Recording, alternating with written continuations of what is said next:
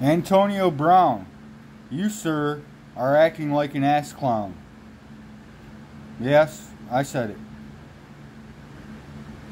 Bringing up race to do with the helmet rule and saying that it's super prejudiced. Prejudice against who? Tom Brady doesn't like that he has to switch helmets. He's white. If you haven't noticed, Antonio, it's not a race thing, man. They're trying to protect you guys from getting concussions, from ruining your brains. And you make it into a race thing? Come on, man. Shit. That ain't right. You know you ain't right, Antonio, on this. And anyone else who, who thinks that the NFL is racist is is nuts. Just nuts, man. Eric Reid protests. He's with Colin Kaepernick all the time. Uh, and he, what what does he do for a living? He plays in the NFL. Yeah, the, the racist NFL, the one that he proclaims as racist. So, look, man, I'm tired of the race crap. We don't need that in our country. We got too much of it as it is. We gotta quit that shit. And people just keep bringing it up, bringing it up, and it's like, and they're not even bringing it up in a logical manner. It's completely has nothing to do with it. The helmet rule is to protect all NFL players, including you, Antonio, from ending up with a severe case of CTE or something worse.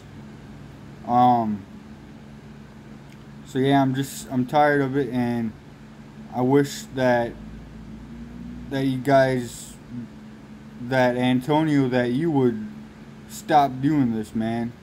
You effed up your feet, okay? And that's the real issue here, because your your feet ain't gonna be right for at least three months, probably four. Justin Gatlin, Olympic sprinter, who knows darn well about uh, how feet play into uh, running, could not had the same thing and could not uh, do anything. He had to wait about four months for it to heal and you try to use uh, this this um, helmet thing as a distraction, man. And now you're going to race, which is which is the ultimate low blow in my mind. Um, just don't go there, dude. It's not because it's not even close to being right. You made millions of dollars you were a sixth round pick. I know you put in a lot of work. I know you're a great receiver, but you have the attention that you have because of the NFL, not in spite of the NFL.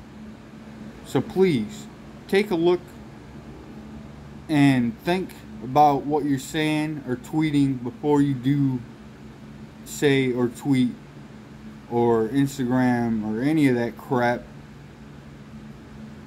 And make sure it makes sense, man. Because this isn't right. This don't make no sense. I love you, AB, but you gotta get your mind right.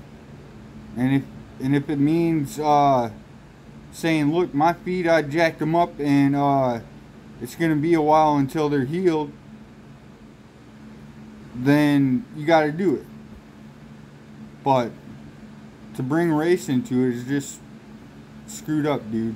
So anyways, thank you for watching uh, Sports and More. If you like this video, I got other videos. Check them out. Subscribe to the channel. Um, yeah, I'm upset, man. I'm upset and I'm disappointed more than anything because Antonio Brown is a great talent and uh, he's just acting like uh, he's just not acting right, in my opinion. And I want to know your opinion on it. Drop your opinion in the comments below. And uh, till next time, peace.